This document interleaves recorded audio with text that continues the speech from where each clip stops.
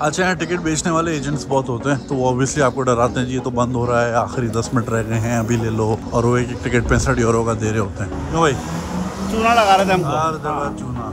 He is explaining कि हम अंदर जाके ये देखेंगे तो उसका ट्रेलर बेसिकली बाहर लगा है। और देखिए यहाँ बिल्कुल अंधेरा किया हुआ है क्योंकि फ़ोटो सेंसिटिव होती हैं और यहाँ पे आप फ्लैश से तस्वीर नहीं खींच सकते। The highlight of this tour दीवारों को आप ऐसे समझे कि ये तारीखी मैगज़ीन है। अरे यहाँ वो चिमनी भी होती है, मुझे भी नज़र नहीं आ रही, जिसमें जब पोप का ऐलान करना होता है तो डिफरेंट कलर का धुआँ निकलता है। टाइम मशीन में बैठ के कहीं और चले गए। हाँ जी वेलकम टू टेल्स रोम और इस वक्त गोगलू में रोम में पहुँच गए हैं और ये ब्यूटीफुल अपार्टमेंट्स हैं। यहाँ पे हम कयाम गुजीर हैं और अभी हम वेटिकन सिटी के लिए निकल रहे हैं। Let's go let's go sir और जी चूँकि गर्मी बहुत है और पब्लिक ट्रांसपोर्ट की स्ट्राइक है तो हमारी जो अपार्टमेंट की जो रिसेप्शन था उन्होंने कहा कि आज ही आप वेटिकन का कर लें शाम में क्योंकि ठंडा टाइम होगा।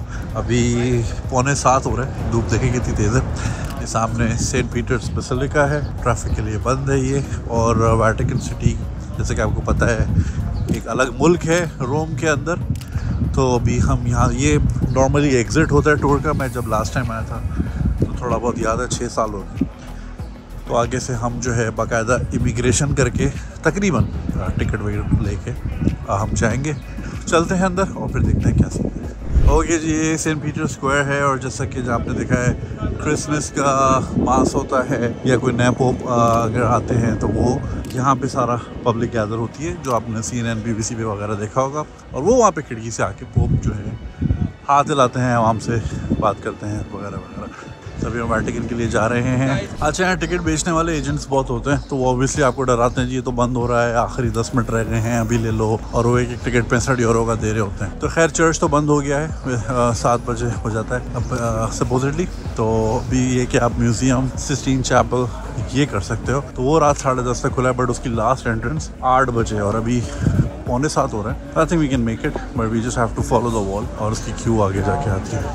सो सेंट पीटर स्क्वायर चूँकि नॉर्मली एग्जिट होता है स्टोर का तो उसकी एंट्रेंस दूसरी साइड से है। काफ़ी लंबी वॉक है और इस मौसम में काफ़ी मुश्किल है। अब ये देखें, ये वाले टूर करके इधर ही से आ रहे हैं। कुछ लोग सेलेक्टेड टूर लेते हैं, कुछ लोग पूरा ऑल द वे लेते हैं। तो खैर this is the way to go और जी वाटिकन म्यूज़ियम की ये एंट्रेंस है और टिकट अभी हम अंदर लेंगे। बाहर एजेंट पैंसठ यूरो का दे रहा था। अब यहाँ चेक करते हैं कितने का मिलेगा। क्यों भाई?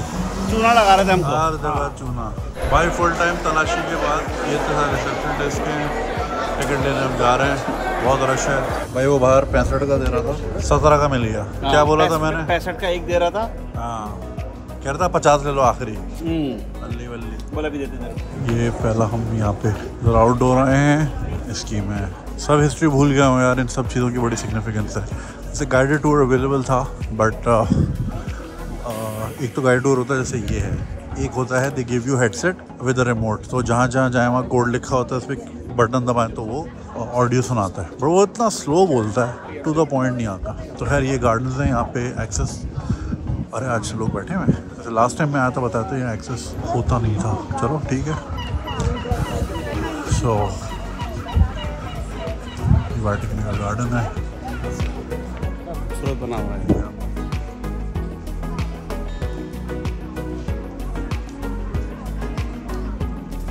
So this is one of the rooms इसका आर्ट चेक करें आप।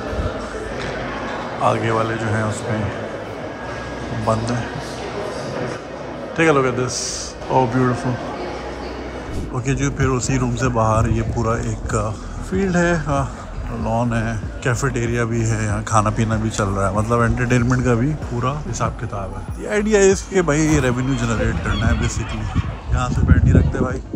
लिखा है do not walk on the grass अपना इधर आनी है बस।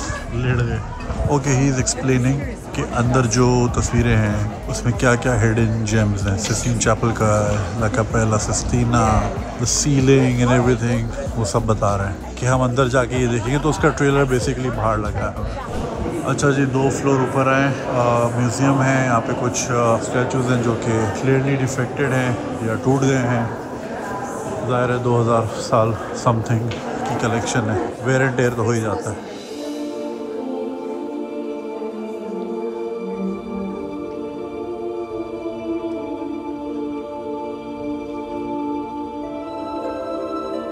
देखें यहाँ बिल्कुल अंधेरा किया हुआ है क्योंकि फ़ोटो सेंसिटिव होती हैं।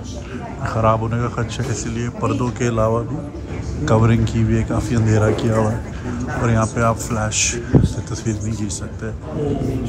और the highlight of this tour is this room this is the most magnificent room in my opinion Look at. इन दीवारों को आप ऐसे समझें कि ये तारीख़ी मैगज़ीन है। ये डिफरेंट वाक़ात की मंजर कशी की गई है। डिफरेंट एरियाज़ के मैप्स हैं। फिर आप एक बिल्कुल टाइम मशीन में बैठ के कहीं और चले गए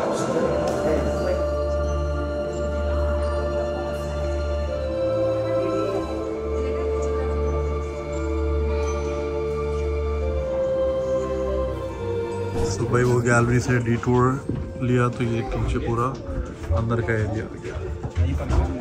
इनकी अपनी एंबुलेंस फायर ब्रिगेड हर चीज़ मौजूद है।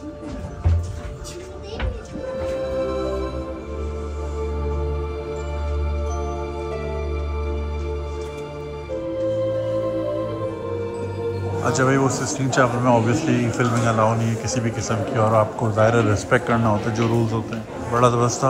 और ये म्यूज़ियम है और यहीं से रास्ता सेंट पीटर्स बेसिलिका को निकलेगा। यहाँ खिड़की के बाहर क्या है? अरे यहाँ वो चिमनी भी होती है, मुझे अभी नज़र नहीं आ रही, जिसमें जब पोप का ऐलान करना होता है तो डिफरेंट कलर का धुआँ निकलता है। एक धुएँ का मतलब होता है कि फ़ैसला हो रहा है, चल रहा है, एक धुएँ का होता है फ़ैसला नहीं हुआ और एक आई थिंक वाइट का मतलब होता है सिलेक्शन हो गई है और ब्लैक का मतलब होता है फ़ैसला नहीं हो पाया। और एक और कलर होता है जिसमें होता है कि अभी तक कन्फ्यूज़न है समथिंग लाइक दैट ये पिछले जो मैंने ट्रिप लिया था, जैसे हिसाब के वो एयर पीस लगा हुआ है ना, वो वाला तो उसकी चीज़ें मुझे याद हैं कुछ वही आपसे शेयर कर रहा हूँ। वो पुरानी वीडियो आपको मिल जाएगी वैसे मेरे चैनल पे मगर उसकी वो वाली क्वालिटी नहीं है वो ज़्यादा सस्ते फ़ोन से बनाई हुई छः सात साल पहले। But it's a must visit place आपको अंदाज़ा होगा कि यार इंसान कहाँ से निकला है कहाँ कहाँ तक आया है। और uh, वो सिस्टीन चैपल में तो बिब्लिकल स्टोरीज जो है वो तो ज़ाहिर है वही हैं जो हमने भी पढ़ी हज़रत याकूब की स्टोरी वहाँ थी डिपिक्शन हुई हुई थी उसकी इसी तरह दूसरे पैगम्बरों की भी डिपिक्शन थी वहाँ पे।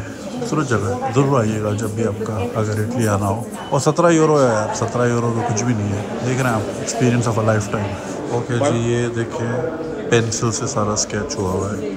और इसमें जो डिटेलिंग की इंतहा हुई हुई है साया तक आपको एक्यूरेट मिलेगा। ये ऊपर स्टैचूज़ हैं इनका भी साया नीचे आ रहा है। इसी तरह ये देखें साया नीचे नीचे नीचे नीचे चल रहा है वो एक ही जो है वो टाइम इसमें वो किया है इसके ऊपर। और जो लोग नीचे चल रहे हैं उनके छोटे साए हैं जितना लंबा ऊपर है उतने लंबे साए हैं उसके हिसाब से उसने उस उस पर्सपेक्टिव में बनाया हुआ ब्रिलियंट अच्छा जैसे शुरू में मैंने कहा था ना ये बाहर ये समझा रहे हैं इसकी वजह ये है कि जहाँ सिस्टीन चैपल है वहाँ पे बातचीत करना बिल्कुल खामोशी रखनी होती है अलाउ नहीं है। तो ये पहले ही समझा देते हैं ताकि जो भी क्वेश्चन तो बंदा इधर ही पूछ ले और अंदर सिर्फ़ ऑब्ज़र्व करे रिस्पेक्टफुली इस वजह से ये यहाँ पे ब्रीफ दे रहे हैं। और जी टाइम टू गो और ये एग्जिट इस तरह का आज से बाहर हम दोबारा आ गए saint Peter Square so all in all it's lot of learning तो आप लोग जब भी इटली आना हो रोम आना हो तो यहाँ का चक्कर ज़रूर लगाइएगा। सत्रह यूरो में कोई ज़रूरत नहीं है बाहर एजेंट से लेने की। सब कुछ खुद मिल जाता है। किसी की बातों में नहीं आइएगा। And I hope you guys enjoyed और uh, इंशाल्लाह आपसे मुलाकात होगी। Take care